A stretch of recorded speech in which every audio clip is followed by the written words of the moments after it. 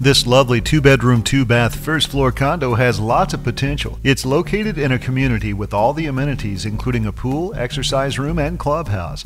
Enjoy a welcoming fireplace in the living room, a screened in patio off the living room, and so much more. Call today and look it over in person.